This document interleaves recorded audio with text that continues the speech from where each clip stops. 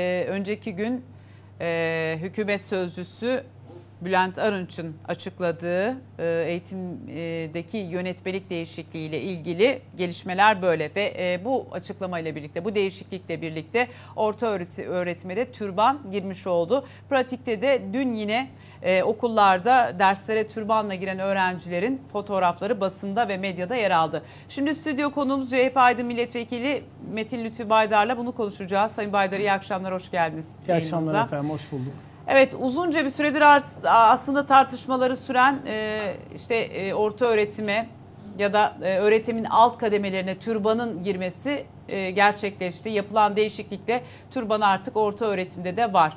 E, şimdi bununla ilgili tabii çeşitli görüşler var. Kimileri, kimi çevreler diyor ki bu bir e, hürriyettir, bir özgürlüktür e, fikir özgürlüğüdür. E, İnsanlar istediği gibi istediği yerlere gidip öğrenim görmelidirler istediği kılık kıyafette ama bir yandan da bunun laiklik ve Atatürk ilkelerine bir darbe olduğu ifade ediliyor. Siz ne düşünüyorsunuz efendim bu konuda? Önce e, şunu net görmemiz lazım. Yani AKP'nin yaratmak istediği Türkiye bu mu? Yani bütün Türkiye'de tüm kadınların örtündüğü, e, kadınların sadece evde çocuk baktığı, çalışma hayatından çekildiği bir Türkiye mi yaratmak istiyorlar? Yani bunun cevabını net olarak vermeleri lazım. Layık Türkiye Cumhuriyet'in kurucusu Gazi Mustafa Kemal Atatürk tarafından kurulurken kadının iş hayatına katılması, kadının eğitim hayatında olması çok önemsenmişti. Bunun ne derece önemli olduğu aradan neredeyse 93 yıl geçmesine rağmen, 91 yıl geçmiş olmasına rağmen bugün görüyoruz ki Orta Doğu'da her taraf e, yangın yerine dönmüşken Türkiye'nin içeriden ve dışarıdan bu derece zorlanmasına rağmen hala ayakta kalabilmesinin ve o hal, halihazırdaki AKP hükümetinin övündüğü birçok başarıyı elde etmesinin temel nedeni de bu beğenmedikleri, yıkmaya çalıştıkları layık cumhuriyet. İşte bu layık cumhuriyeti ortadan kaldırmak mı hedefimiz? AKP artık bu konuda hiç lafı dolandırmadan net görüşünü söylemeli. Yani kadınlar son 12 yıl boyunca daha fazla evde oturmaya başladılar. Kadınlar yavaş yavaş iş yaşamından çekilmeye başlıyorlar. Kadınlara sesleniyorum burada. İstediğiniz bu mu? Evde oturup kocanızın gelip gitmesine bakıp çocuklarınızı yetiştirmek mi derdiniz? Eğer bu değilse gerçekten siz de hayatı bir müşterek olarak görüp hayatta ben de çalışma hayatında olayım, ben de bir şeyler yapayım gayretinde içerisindeyseniz bu değişikliğe karşı çıkmanız lazım.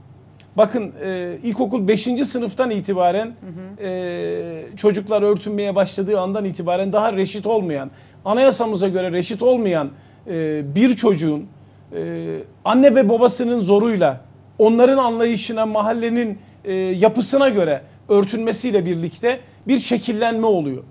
Biz bu şekillenmenin 18 yaşından sonra reşit olarak çocuklarımızın kendileri tarafından karar verilmesinin daha uygun olduğunu görüyoruz. Bir de şuna bakmak istiyoruz efendim. Yani e, eğer elhamdülillah Müslümanım diyorsa insanlar ya Müslümanlığın emri midir sadece bu? Yani bunun dışında kul hakkı yememek birçok birçok emir var yani e, İslam'ın şartlarının dışında da e, Kur'an'da yazan birçok ciddi emirler var. Sen bu kadar kul hakkı yiyeceksin. Atanamayan öğretmenlerin bu kadar kulunun hakkını yiyeceksin. 60 puanla ahlak bilgisi ve din bilgisi ve ahlak dersinin e, öğretmenini atayacaksın. 85 puanla felsefe öğretmenini atamayacaksın. Kul hakkı yiyeceksin. Ondan sonra da e bu işte insanlar inançlarına göre örtünsünler ilkokuldan itibaren diyeceksin.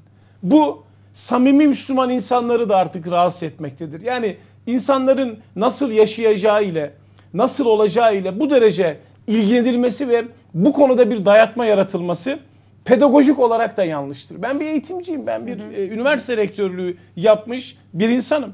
E, yani çocuğu ilkokul 5. sınıftan itibaren örterek ne kazanacaksın? Bu çocuk sorgulayıcı, araştırıcı yani inovatif düşünceye sahip bir eğitim modeli içerisinde kafasında bir dayatmayla nasıl yetişecek? Nasıl bir eğitim görecek? Ama siz tabii ya kamuda türban olabilir, üniversitelerde türban olabilir. Ne olacak falan diyerek yaklaşırsanız buna özellikle AKP'ye bu konuda destek veren gazete yazarlarına ve liberallere de buradan seslenmek istiyorum. Yani ne olacak bu özgürlük, özgürlük alanı diyerek o Cumhuriyetin kurulduğu andan itibaren en temel ilkelerinden birisi olan laikliği böyle ya laikliği yeniden gözden geçirmemiz gerekiyor diyerek bu derece esnetirseniz sonuçta geleceğimiz nokta budur. Peki e, şimdi az sonra bir bağlantı da yapacağız. E, kimileri de hem siyasi partiler olsun hem e, işte dernekler olsun e, bunun bir insan hakları e, boyutunda değerlendirilmesi gerektiği, özgürlüklerin savunulmasından yana değerlendirilmesi gerektiği yönünde görüş bildiriyor. Yani e, şunu söylemek istiyorum. İnsan hakları konusunda e, eğer ben inancımdan dolayı takıyorum dediği andan itibaren e, kendi normal yaşantısı içerisinde insanlar takabilirler ama kamu düzeni içerisinde özellikle okul düzeni içerisinde e, çocuğun kendi gelişimini sağlayacağı bir dönemde zorlayıcı bir baskının olmasının ne derece insan haklarıyla bağlantılı olduğunu da e, burada sorgulamak gerekiyor. Yani bugün e, dünyanın gelişmiş ülkelerine, modern ülkelerine baktığınız zaman dini sembollerle bir eğitimin yapılması bile normal örgün eğitim sistemi dışında değerlendiriliyor. Yani örgün örgün eğitim sistemi içerisinde öğretmenler dahi dini sembol içeren hiçbir şeyi e, takamıyorlar. O şekilde bir kıyafetle bulunamıyorlar. Onların ayrı bir okulları oluyor. E, şimdi siz e, modernleşeceğim diyorsunuz. Avrupa Birliği'ne gireceğim diyorsunuz. Bir taraftan da e, Türkiye'yi Orta Doğu içerisindeki o karanlık devamlı kavganın olduğu, işitlerin yetiştiği bir vasata doğru çekmeye çalışıyorsunuz. AKP'nin de bu konuda karar vermesi gerekiyor. İş işten geçtikten sonra eğer bu sistemin önü alınamadığı takdirde belirli bir zaman sonra AKP'yi bu anlamda bizler de kurtaramayız. Kurtaramayız dememin anlamı şudur. Eğer siz türbanı ilkokula kadar götürdüğünüz andan itibaren Türkiye'de radikal İslam ve siyasal İslam'ın önünü açacak davranışları bu derece körüklediğiniz andan itibaren Türkiye'nin her yerinden bugün işite katılanlarla ilgili haberleri duyuyoruz. Bunların daha fazla artacağı bir ortamı ve vasatı yaratmış olursunuz. Eğer modern dünyanın içerisinde olma konusunda bir kararlılığınız var ise AKP yönetiminin de temel olarak bir karar vermesi gerekiyor. Yani evet. laiklikten vaz mı geçeceğiz? Yok laikliği esnetelim, laikliğin yeniden tanımlanması lazım diyerek bugüne kadar Türkiye Cumhuriyeti'nin Orta Doğu'da göz bebeği bir ülke konumunda olmasını terk mi edeceğiz? Ne yapacağız yani? Bu konuda da net bir karar vermeleri gerektiğini evet, düşünüyorum. Sayın Biden. Anne babanın tabi e, burada anne babadan e, alınan e, terbiyenin çok önemli olduğuna inanıyorum. Anne baba terbiyesi çok önemlidir. Ancak çocuk reşit olmadan bazı kararları almamalıdır. Yani eğer biz layık bir cumhuriyetten bahsediyor isek, e, pedagojik formasyon içerisinde yetişecek bir çocuktan bahsediyor isek, bu çocuk reşit oluncaya kadar 18 yaşına kadar ailesinden mutlaka bir terbiye alacaktır ama o terbiyenin gereğini ve o güne kadar okuldaki aldığı eğitimle birlikte bütün aldığı hem terbiye hem eğitim hem öğretim bütün bu e, şeylerin sonunda 18 yaşından sonra çocuk bir karar verebilir. Bu karara herkesin saygı duyması gerekir ama ondan önce bu aile terbiyesidir, bu anne babanın rızasıdır denilerek 10 yaşından itibaren bir çocuğun aile e, baskısıyla, mahalle baskısıyla örtülmesi pedagojik olarak uygun değildir. Yani e, bu kararı bırakın çocuk kendisi alsın. Yani ona bunu 10 yaşında zorlattırmayalım. Yani bu çocuğun gelişimini e, çok ciddi ket vurur. Yani Emine Erdoğan'ın hatırlarsanız hatıralarında e, ben abimin zoruyla başımı örttüm, günlerce ağladım evet. laflarını unutmuyoruz. Evet. Yani ve o bir reşit olduktan sonra örttüğünü ifade ediyor. Şimdi neden çocuklarımızı böyle sıkıntılara maruz bırakalım? Yani Türkiye'de bugüne kadar geliştirdiğimiz 91 yıllık bir eğitim var ve bu eğitimin sonucunda yetişmiş bugün bizi yönetenler de dahil olmak üzere. Ve bunun sonucunda Türkiye bir noktaya gelmiş. Türkiye bu noktanın daha ilerisine gitmesi gerekir iken toplumu böyle bir e, millet olmaktan, ulus olmaktan çıkartarak bir ümmet olma yolundaki bir eğitim anlayışını ve böyle bir zorlama, bir baskı dönemini hani e, özgürlükler deniliyor ya özgürlükler anlamında da uygun görmüyoruz. Yani hayata e, özgürlükler çerçevesindeki bir bakış 10 yaşındaki bir çocuğun o herhangi bir şeyin kararını vermeden anne babasının baskısıyla bir yapının içerisinde tutulması şimdi bana özgürlük diye mi yutturacaksınız? Böyle bir şey olabilir mi? Reşit olsun ondan sonra kararını kendisi verir. Ama reşit olmadan daha ilkokul 5. sınıftan itibaren bunu aldığınız andan itibaren e, bugün e, işte IŞİD'in yetiştiği vasatı oluşturuyoruz o zaman Türkiye'den. Yani o zaman e, Türkiye'nin belirli bölgelerinden IŞİD'e seferler düzenlenmesini, oraya gidilmesini hiç kınamayalım eğer böyle bir toplum istiyorsak. AKP de bunu net olarak ortaya koymalı. Nedir kardeşim derdiniz nedir sizin? Bütün Türkiye'deki bütün kadınların başını örtmek mi? Böyle böyle bir Türkiye mi arzu ediyorsunuz? Bunu net olarak söyleyin biz de bilelim ya. Yani ama yapmaya çalıştığınız şey bu. Bunu söylemiyorsunuz. El altından devamlı yani e, bundan e, belirli bir dönem önce AKP'nin gizli gündemi var arkadaşlar diye bu mecliste bundan önceki dönemde 22. ve 23. dönemde o dönemin Cumhuriyet Halk Partisi'nin yöneticileri ifade ettikleri zaman liberal yazarlar özellikle AKP'yi destek yok canım siz de amma abartıyorsunuz ne gizli gündemi olacak diyorlardı. Şimdi Peki onlara bunu soruyorum. Siyasi malzeme olarak mı kullanılıyor Tabii efendim, bunu- AKP, AKP Sayın bunu Çetinkaya'da kendine- gerçek gündemi mi bu?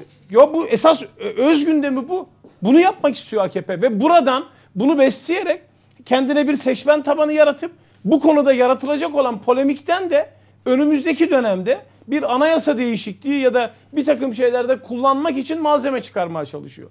Daha yönetmelik imzalanmamış. Neden bu yönetmelikten bahsediyorsunuz? Gündem değiştirmek için.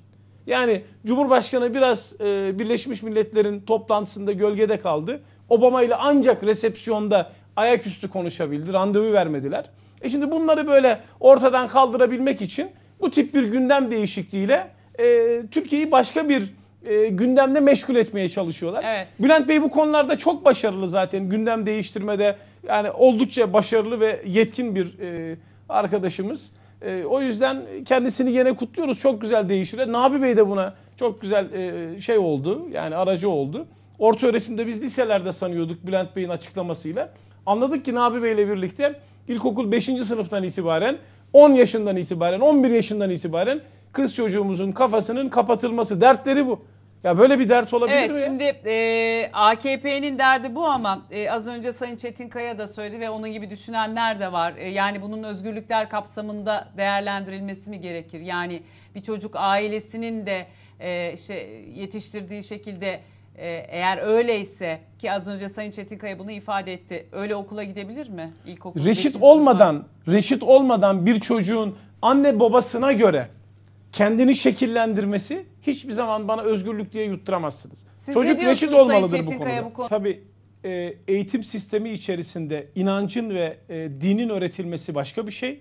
Bir de eğitim öğretim içerisinde bilimsel düşüncenin öğretilmesi başka bir şey. Yani biz temel olarak sorgulayıcı, e, hayatı anlamaya çalışan, dünyayı anlamaya çalışan bir gençlik yetişmesini istiyoruz. Bizim hedefimiz bu. E, yaratıcı olan, yaratıcı düşünceye, sorgulayıcı düşünceye sahip bir gençlik istiyoruz. Cumhuriyet Halk Partisi olarak da temel inancımız bu.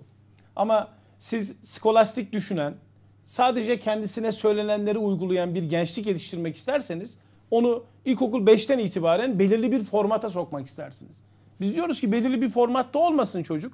Ha siz dinle ilgili, inancıyla ilgili, İslamiyetle ilgili olan her şeyi öğretin. Öğrenmek isteyenler öğrensin. E, İmam Hatip eğitiminde, Kur'an derslerinde çocuk dini vecibelerini yerine getirecek tarzda yine örtünecekse örtünsün. O zaten İmam Hatip'lerde geçerli ama bütün e, siz 5. sınıftan itibaren okulları İmam Hatip şekline dönüştürmeyin. Yapmayın yazık edersiniz Türkiye'ye. 91 yıllık Türkiye'nin bu kazanımlarına yazık edersiniz. Temel söylediğimiz bu. Nasıl bir Türkiye yaratmak istiyorsunuz bu? Ve 5 yaşındaki bir çocuğa pedagojik olarak, pedagojik olarak anne babasının belirli bir baskısı olmadan özgür bir ortamda yetişme imkanı var iken Yazık siz, edersiniz siz Türkiye'ye tabii canım bunu bunu ortadan kaldırıyorsunuz ya. Bunu Evet, bunu Sayın ortadan Çetinkaya- kaldırıyorsunuz.